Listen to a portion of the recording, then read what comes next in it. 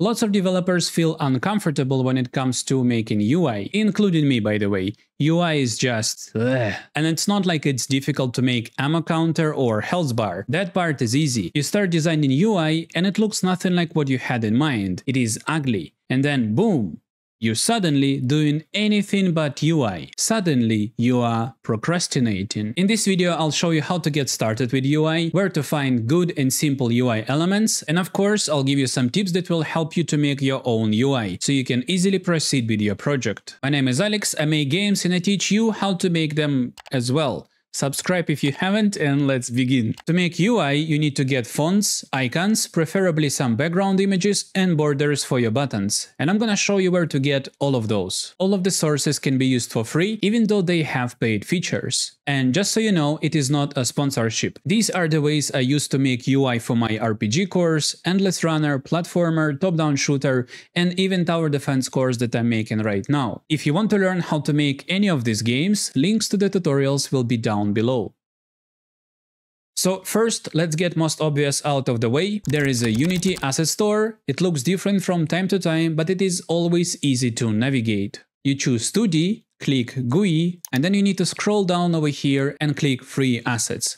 There are lots of good options that you can use for UI, but most of the time I just end up closing it. Then there is an itch.io. It is a great website and if you're a game developer, you really need to know about this one. You go browse, assets, you click free and you choose UI. And there you have it. Bunch of game ready UIs. If you're ready to spend a bit, you can switch to paid options and choice will be even bigger. Now moving on to making our own UI elements. It is great if you know what you want to have on the screen, but if you feel a bit lost, you just take a look at the games you love. Or you can browse gameuidatabase.com to get some ideas and inspiration. Just don't go far into a rabbit hole. You don't want to get a feeling that says, oh, I will never be able to make UI like that. All you need is an approximate idea of what you want to have. I usually go with my own feelings and experience, and I prefer to have minimalistic style of UI with minimum elements on the screen, because it's cool when you can see the game and you are not bothered by extremely annoying flashy elements from every part of the screen. Yeah, I think it's better when it's clean, because games should be fun without extra entertainment in the corner. If you need a proof that simple UI works, I'm gonna give you an example of games that did it really great. Celeste is a perfect example with minimum UI elements, just icon and text. Downwell has a great simple style overall. Risk of Rain 2 using transparent backgrounds and simple text. XCOM 2 makes it easier to understand with minimalistic vector icons. And Mark of the Ninja uses goofy text, shapes and simple images images. All of these UIs have very simple minimalistic style. Yeah, even if complexity of the game is big, simple UI makes it easier to grasp. This is what I'm usually going for, and because I don't know how to draw anything but a fish, here is what I use to achieve what I want. It is canva.com. Again, this is not a sponsorship, I'm just sharing. Canva contact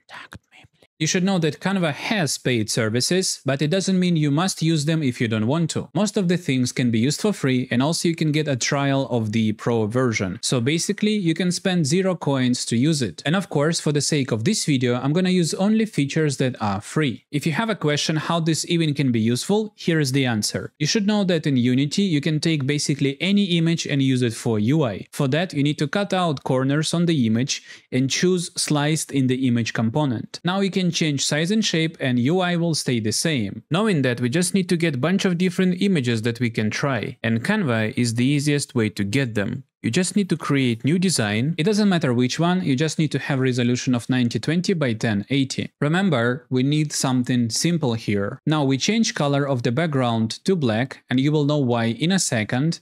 And then we just go to elements over here and use search field. You type borders and you simply browse and choose what you like. Once you found something that could work, make sure you change its color to white because Unity allows you to change white color to any color there is. So you keep browsing and collecting elements, just remember that not every option will be perfect and your goal is to grab something that could work and then you need to see if it works. You could also use simple shapes and lines to create your own UI elements. These are two examples that I collected before. So your goal is to make something like this. Once you've collected a sprite sheet of possible elements, you need to make them usable in Unity. If you decide to take a pro version, you can simply download it here with a transparent background. But if not, you need to download image as it is and then you go to erase.bg. This website allows you to remove backgrounds only twice for free, but you can open website in a new private tab and then you'll be considered as a new user, which allows you to use services again. At the same website, you can shrink size of the image without losing quality. And also, you can upscale image if yours looks pixelated. Then you go to Unity, turn image into a 2D and cut out borders, same as I showed you before. Choose image as sliced and there you have it. UI elements that could work for your game. Switch between different options to see what you like more. Now, if you want to have icons in the UI and you don't have them yet, it all depends on the style of the game you have. If you have pixel art in your game, you can browse itch.io for icons. You can search for them on Pinterest or even ask ChatGPT to generate them. Warning about using ChatGPT though. While you may get a couple of good icons out of it, it struggles to generate a set of images with a consistent art style. If you have a 3D game, finding suitable art can be a challenge. So this is what I usually do. You can take things you have in the game and turn them into an image. Place your model in this scene, then switch to 2D view over here, flip your model so you can see it, then create new material, then on your model, replace all materials with a newly created material, then choose this material and add a bit of emission. Then you have to make a screenshot so you can use this item as an icon. You can either remove background in Photoshop by selecting subject over here and then you need to bring image on a new layer and you can do that by pressing Ctrl Shift J and then you can delete extra layers in the corner and now you have item without background just don't forget to clean it up a little bit over here or same as before, you can use erase.bg or pro version of Canva. All of this works and it's only up to your preference. And I have another option for you as well. You can use simple art and vector art as an icons for your 3D game. This is what I did for my tower defense course. If you think this is a bad idea for a video game, here is League of Legends and they did use same style icons for big event they had last summer. So simply, you go to elements again and type what you are looking for. In my case, I have a crossbow laser tower and my goal is to let player understand what tower does only by checking an icon. So I'm just going to search for crossbow, collect bunch of icons and I'm gonna cut them out same as I showed you before.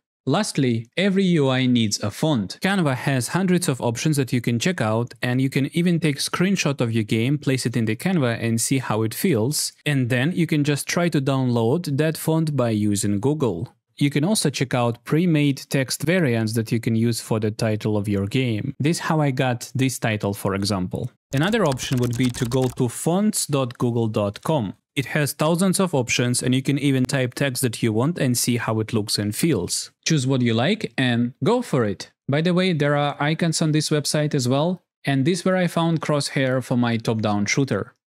And obviously you can mix and match all methods above. For example, this small UI over here was created with all methods that I mentioned. Background I found on itch.io, icon was made with the help of a 3D model and then I took Canva and removed background from it and fonts I found on fonts.google.com. So it's really not that difficult to make simple UI. You just need to show a little bit of creativity. I believe in you, you can do that. Lastly, I want to say that when you gathering UI elements, don't be too hard on yourself. Just choose what you like and go for it. Your goal goal is not to make best UI in the world. Your goal is to make playable UI. Don't let the UI hold you back from developing your game further. If it doesn't look great, you'll get feedback about that and you can always come back and improve it later on. If you need a feedback, don't be shy, just join my Discord, I'm sure we can help. And something else here. Usually, when you develop an UI, your game is in a pretty raw state. And when you don't have final look of the game, there is no point on wasting time perfecting UI. You may think that dark blue looks nice, but when you add new elements to the level, suddenly you can learn that UI is hardly visible now. So try to get visuals of UI of somewhat 60 to 80% done and see if it needs improvement later on. Now, if you want to learn how to make video games, check my website. My students usually are very happy with their result. And I want to say thanks to my students and Patreons and give special thanks to Gianni Moroni and Dynast.